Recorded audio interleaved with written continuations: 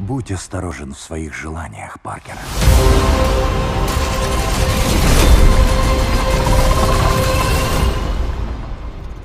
Привет, Питер. Человек-паук. Нет.